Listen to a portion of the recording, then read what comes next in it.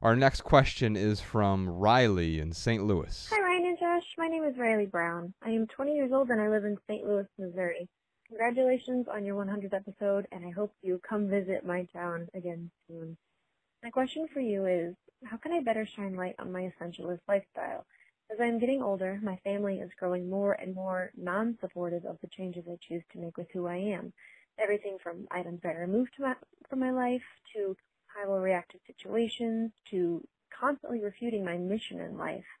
I feel like they undermine and deny who I am because they want me to become as they are now. How can I help them see that I am my own person, pursuing my own path, and only wish to be accepted? Thank you very much. Have a great day, guys. So Ryan, I was I was reminded of two essays that are on our website. That well, we wrote one of them together, and then I wrote this one recently about unsolicited discharge. Now I'm not sure if this is exactly what Riley is getting. I sort of wrote this about criticism, but she's certainly getting some criticism. Before I, I, read a little bit of this, though, she said something that was fascinating to me. She said, How do I shine a light on my minimalist lifestyle? And I think something's important to, to realize there. Like, mm-hmm. there's this light above us, right? It's like a, yes. a spotlight almost, right? Mm-hmm. Now, there's a thing, there's a good and bad side of shining a light on something. because. Uh, because you can see my dry skin in the corner of my temples here, and it brings out all the flaws, right? Yeah, yeah. Like you have that scar on your forehead, and I can definitely see that scar on your forehead right now. now, I think it makes you more beautiful. Thank you. Now, but they call me Frankenstein in grade school. Seriously, they did. So, uh, so one thing to think about here: if you're trying to shine the light just keep in mind that you're also going to illuminate the flaws. Now, the good thing is you'll actually see what to improve as well. And by shining the light, so you and I, we have written a lot about our own lives. We've talked about our own lives a lot. We've done videos and a documentary about our own lives. Uh, our lives are out there. We've shined the light on our lives. Yeah. And it's helped me really understand and come to terms. But also it's really difficult. That last little segment, a podcast, Sean's tearing up in the corner over there, where you were talking about your, your relationship with your father. And I think it's going to help a lot of people. But shining a light on that is also really difficult, and it's hard to talk about. Mm. And quite often, we don't want to confront these issues for real. We, mm. we think we do, mm. but realize that if you're going into battle with some of these issues, it's actually going to be a battle. Now, in, in, in terms of, of dealing with their um, undermining and they're not being supportive, and you want to help them understand. Um, I thought about this essay, Unsolicited Discharge. I'll put a link to it in the show notes, but it just goes a little something like this. It's really short. Last week, Ryan and I filmed a living room conversation on our YouTube channel about dealing with criticism. While I agree with everything we said, I'd like to add a few words. There is a significant difference between feedback and criticism. We must seek feedback from trusted people because it makes our work and our life better, right? Yeah. Feedback. In fact, um, uh, yesterday we were in the process of, of hiring a, a filmmaker for the minimalists and mm-hmm. what, what we did is we, we got in a room we, we got with the 19 different finalists we were watching their their their videos their submissions their reels but then we, we narrowed it down to a top seven and we sent the top seven to uh, our trusted friends. We wanted feedback from people like Matt and and I sent it to Bex and and um, Jeff Dave, and Dave. Yeah, and, exactly. Yeah. And so we got and, and Jess, Jessica provided feedback, yeah. and and so we got feedback from all of these these different people because feedback helps us understand what we're missing, gives us a clean pair of eyes, and, and it's important. It's not always they're not going to agree with us, but that's a good thing, yeah. right? Yeah, man. It well, criticism is so important, man. It's so important well, well, to, feed, to, Here's the thing. I say feedback's important. I, I like to. I, I, I know it sounds like semantics, but I like mm-hmm. to differentiate. For me, feedback provides the problem with a solution. Mm-hmm. Most criticism, when I think about like just visceral criticism, mm-hmm. it just highlights the problem, and they're like, uh, "Oh, look at that scar on his forehead." You know, right. it's a YouTube comment or well, whatever. see, well, see, that's where I differentiate. That's not that's not criticism. Uh-huh. That is discharge. Exactly. So, so for me, when I say criticism is important, I think criticism can be part of feedback. Uh, I don't think they're you know uh, interchangeable words, but I think criticism is is a piece of that. Um, I think criticism is important because none of us are perfect. Yeah. And any of us who walk around and think that we have it figured out 100%, well, then that, that person's an idiot. Yeah. and uh, for me to not take for me to not look at criticism even going back to the, the, the relationship with my dad the criticism he would give me i would uh, you know tr- try to uh, subjectively look at as best as i could Mm-hmm. um, and, and i can look at some of his criticism and, and it it does one or two things for me it either makes me say oh you know what they have a point i should x y and z or it makes me look at myself and say oh you know what no, I'm really, really secure with who I am and the way that I'm living my life, and I don't uh, agree where uh, where their perspective is coming from with that criticism. Right. So it it strengthens who it either helps me be a better person, Right. or it will strengthen who who I already am with with criticism. Yeah. When it comes to discharge, when it comes to unsolicited discharge, Yes. that stuff I can easily look at and and uh, just kind of compartmentalize it and be like, oh, like that person is a troll. Well, it, Especially anything online, because like people they behave totally different online. Yes. They are different people th- online than they are in real life. And the same is true with text so f- messages. yeah, and absolutely. The, the, the different the different formats that, Yeah. that we go through. So so when you talk about uh, the, this discharge, the thing that I think about is you say it's easier for you to car- compartmentalize it. Mm-hmm. I think for most people and for us, until we you and I have been criticized so frequently, so much, It's like up up to and including death threats. it hurt. Yeah, it hurt up until about midway through 2014. I finally started to like just be able to compartmentalize it. But Well, and, and that's because I think we developed some some calluses along the way. Yeah. Um, but but when I talk about seeking feedback from trusted people and then avoiding criticism from naysayers, uh, because it it really I think it clutters our lives if we're just getting the that discharge, right? Yeah. And so so here's the thing I said in the essay: whenever you create something meaningful. You will be critiqued. And I would say Oh, yeah. to Riley, whenever you do something meaningful, if you're simplifying your life and you find meaning in that, if you're getting rid of debt, if, if you're trying to make some sort of change, mm-hmm. you are going to be critiqued. There's no doubt about well, it. whenever you stand for something and people in your life are not standing for the same thing, they want to point out how you're really not standing for that. I'm not standing for that, and you're really not standing for it either, and here's why. You're not a real minimalist. You own underwear, or whatever, right? Whatever, yeah. In fact, I've got some uh, examples here. That I, I pulled these from our YouTube comments recently, and so I, what I said is, no matter how close to perfect your creation is, or no matter how close to perfect your life is, right? Mm-hmm. No matter how close to perfect it is, you will be judged. And so here are some some recent comments, and I, and I'll tell you what I did with them in a second. The lighting in your on your podcast looks creepy. Ladies. This video is stupid. And they spelled stupid S T O O P I D. Yeah. That's so funny. And someone actually uh, um, commented, Don't quit your day job. I don't have a day job. and so, but, um, see, but you know what though? If we met those three people in person, they wouldn't dare say that to our face. right, I, I, I agree with that. and, and and that's that to me that's how i can compartmentalize it it's because well just with the example of the person who spelled stupid s-t-o-o-p-i-d they obviously don't even take their own comment seriously Exactly. But but here's the thing. I, I and I think that translates to Riley's question here. I think when we get so comfortable with someone, sometimes we accidentally say some of these things that are hurtful and we don't realize that they're hurtful. They're just flippant. These are really flippant comments. yeah And we're really close to someone like parents or close family members. Sometimes we accidentally say things.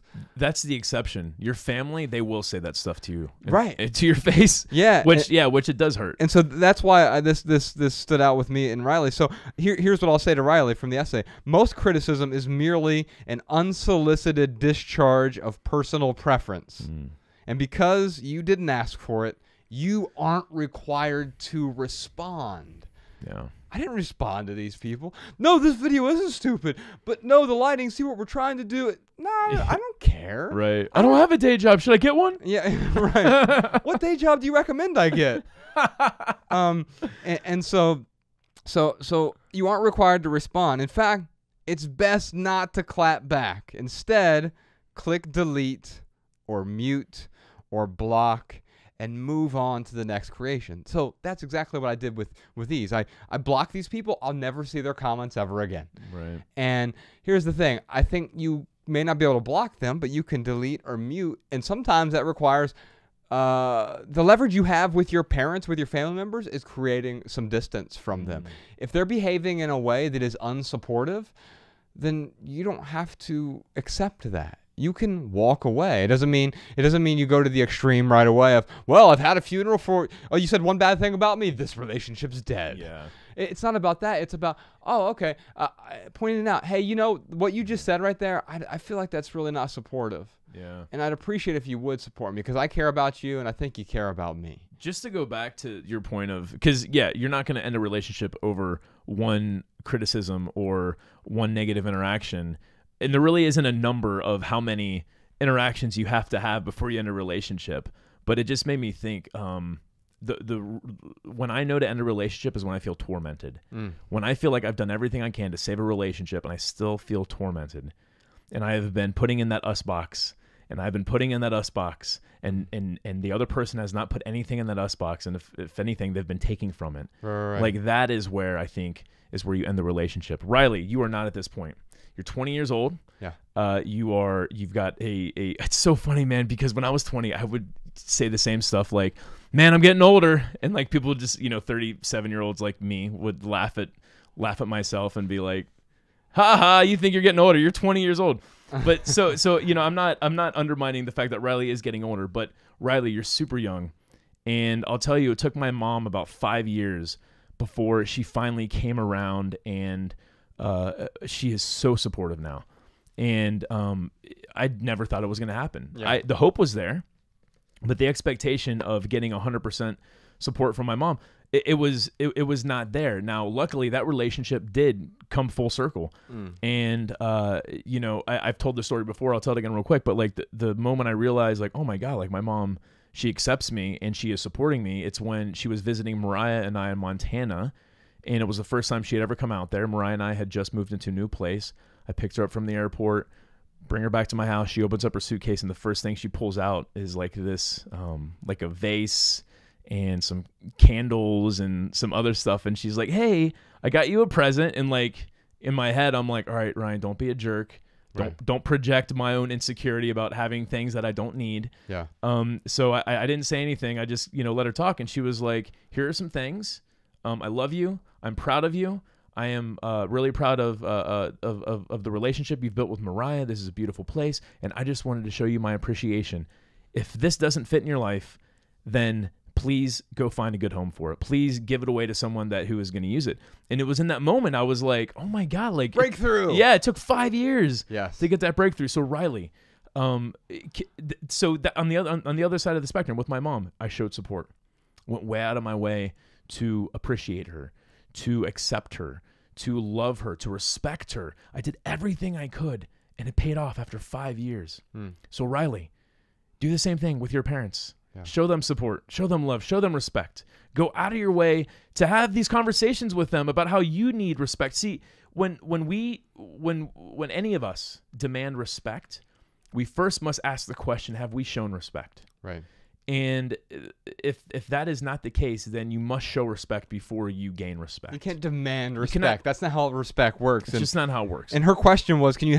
Can can how can I help them understand that I want to be accepted? And that reminded me of this other essay that we wrote called "Understanding Others." I'm certainly not going to read this whole thing because it's a long one, but we'll put a link to it in the show notes. But there's this acronym in there, T A R A, that you've heard us talk about before, and it's it's really the path toward understanding other people. Yeah. And so all and respect's one of those. But Riley, if you want them to accept you, that is like that's after the first step. It's tolerance first. Mm. First, you have to find a way that they can tolerate your lifestyle. So, are they doing that? Are you tolerating them as well?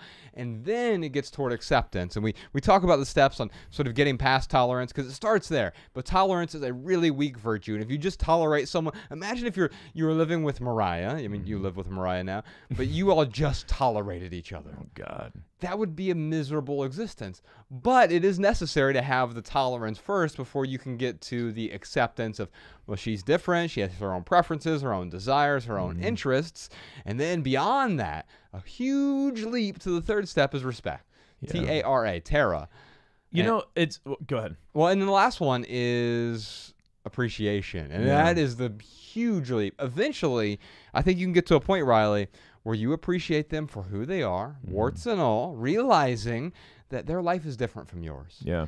And that's okay. In fact, that's what makes life beautiful are all these differences because what what's the alternative? That we're all exactly the same. Yeah. Well, then there's nothing to appreciate anyway. Yeah. I, I was just going to say, when it comes to that appreciation piece of it, man, it's not like, so with Mariah, as an example, like, yeah, she has more things than I, than I have. Um, I don't know the number of things. I just know that there are a lot of things around the house where I'm like, oh, like that's not mine, that's Mariah's. And it's not that I appreciate the fact that she collects more things, but what I do appreciate is the love, the kindness, the respect that Mariah shows this relationship. And I also appreciate everything she does for our relationship. I mean, the the, the way that um she's just like your stereotypical loves to cook and and loves to take care of the house and loves to like just really um create a beautiful environment for us to live in. And She loves to take care of the relationship. Yes, and she does. And I appreciate that so much that for me to look at her stuff and say, you know what? I know that you got more stuff than me, but it's cool. I love you so much. And like everything you do for this relationship, I appreciate so much. If if it if it if it helps her, if it shows her the appreciation by me letting go of my own insecurities and my own idiosyncrasies Yeah. for her uh, for her, uh, her I want to say her well-being, but it's more than her well-being, but her preferences. Yeah. Um, I'm sure Matt does this with with Natalie. Which, by the way, Matt just got engaged. Oh my God! The yeah, Italian, the congrats, Italian Matt. Stallion. That's right. But Man, he. Uh, uh, I mean, with Natalie, I mean, I know she's definitely not a minimalist. You did a video on your YouTube channel about living with your non-minimalist girlfriend, your non-minimalist fiance. You have to like update the title, right? You just go in like do voiceovers, like to i- inject the word fiance. But um, uh, I I mean, she, she showed up to dodgeball last week. I could tell she was probably wearing a brand new outfit that said USA because it was the Fourth of July. It wasn't new. No, it wasn't. No, she bought it on like Fourth of July two years ago. But she didn't do it in a minute. I, I tried to get her to pare it down. Yeah, well, great. um, yeah, and I could tell like like Matt would never show up wearing the, the USA tank top or whatever, but like it it's that appre- and and the cool thing is like I actually saw you appreciated that. Like you've got this little Australian woman who shows up at our dodgeball league, like being the most American Fourth of July person there, and uh, it was pretty great. So you're able to appreciate these idiosyncrasies in a way when you step back from yourself and realize, hey. Uh, I'm not solipsistic. I'm not the center of the universe. Right. I can appreciate these other things too, and that's okay. Yeah, yeah, yeah. And I, I guess what I'm trying to get at too is like again, it's not like I appreciate head on. I look at Mariah's collection of things and I, head on I go, you know what? I've learned to appreciate her collection of things. No. What what I've learned to do is by showing her that I accept uh, a- accept her idiosyncrasies. Mm-hmm. that is in turn showing her how much I appreciate the relationship. You you appreciate her as a whole, even if even if you don't like every single trinket.